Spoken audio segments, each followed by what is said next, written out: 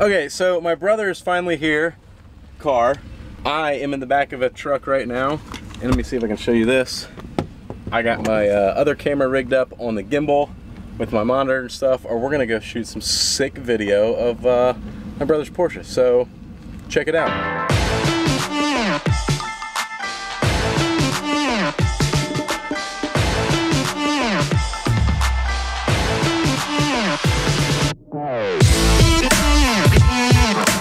What's up everybody?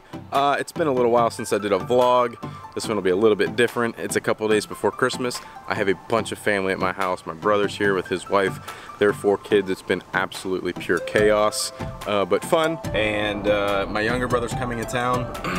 he to shoot some video of his car, so I'm sure we'll do that. Uh, I've got to do a little bit of last minute shopping for my wife because I'm like the worst shopper for Christmas stuff ever.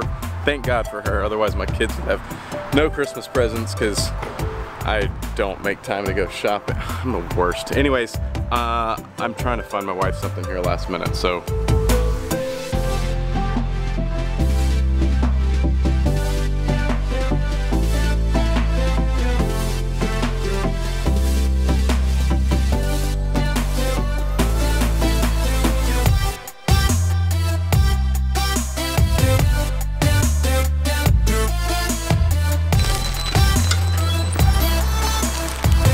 can't tell you what I got. It's a secret. But I got something. What's up? How, How are you? you? Good you guys want to go fishing? Hit up the Captain Hook.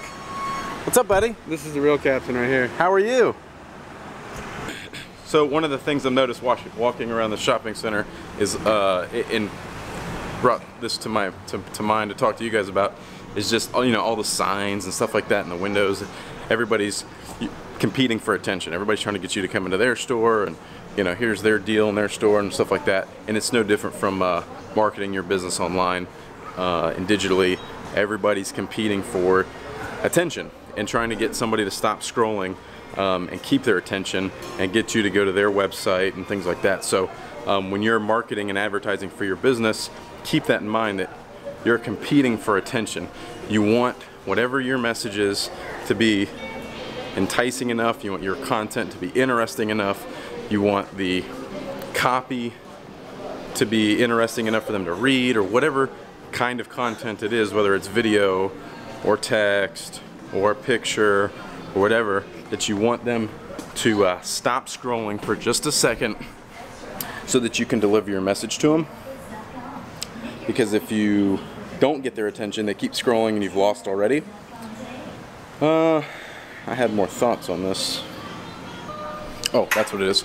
You only only got, you know, keep in mind you only got like half a second to get to get them to stop scrolling. Oh, those are nice boots. Half a second to get them to stop scrolling, um, and then once they've stopped, you really only have like three to five seconds to keep them engaged. So, you know, like people that have their animated graphics, logos, and all this stuff going on for like the first eight seconds, get rid of it. Put your logo at the end of it branded at the end once they've watched the entire video and they got something out of it and you brought them value and they see what you're all about and all that kind of stuff then show them your logo and tell them who you are and where they want to find it and all that stuff. Don't try to don't try to sell them up front. You, they don't even know what they want to buy yet. So keep it interesting up front. Keep their attention in the first three to five seconds and then deal with the rest of it later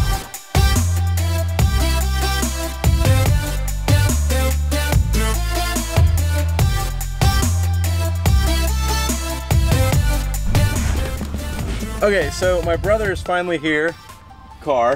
I am in the back of a truck right now. And let me see if I can show you this.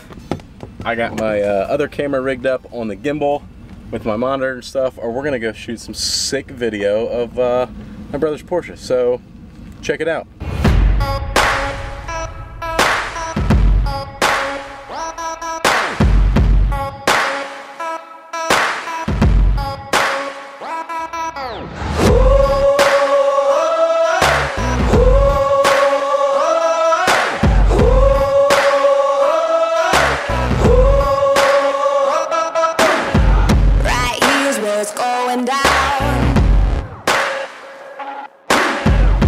Don't stop, don't turn around. You can't look away, can't look away. Cause it's about to break, it's about to break. You better hold on tight.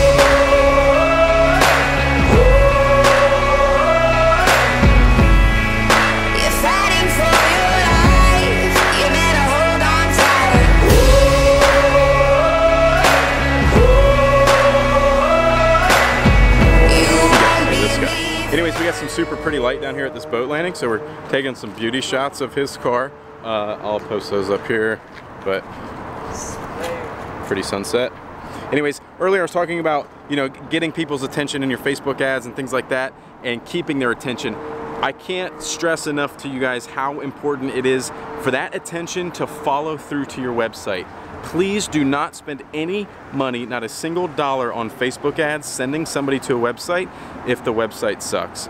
And I know that you're probably romantic about your website and you think it's really, really good, and I hope it is, but get some really strong, true, um, feedback from people that aren't your friends and family who are gonna pat you on the back and tell you it's super awesome, all stuff like ask strangers, ask your people if you have email, like send people email uh, to your email list and say, hey, what do you think about my website? What can I improve about my website? Reach out to consultants, reach out, like anybody, look at other websites, take features from things, look at Amazon, look at Amazon's doing, look what um, eBay's doing, like try to take features from some of the big guys that have spent tons and tons of money developing their websites to work and they know it works they look at data, mimic some of that stuff because it works, but make sure you have everything in place on those websites before you start sending traffic there. Listen guys, the thing about the ads is you don't have to, don't try to get them to purchase on the first ad.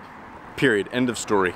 Bring some value, show them how the product is going to improve their life, how um, give them some education about something, give them some entertainment, something, and then you can retarget people who've interacted with that, people that liked it or commented on it.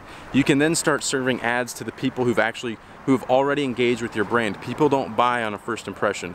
It takes 7 to 15, 20 plus impressions of your brand or your product before somebody's willing to buy it. So that's why retargeting is so important. You can't do it on the first impression, so don't expect to.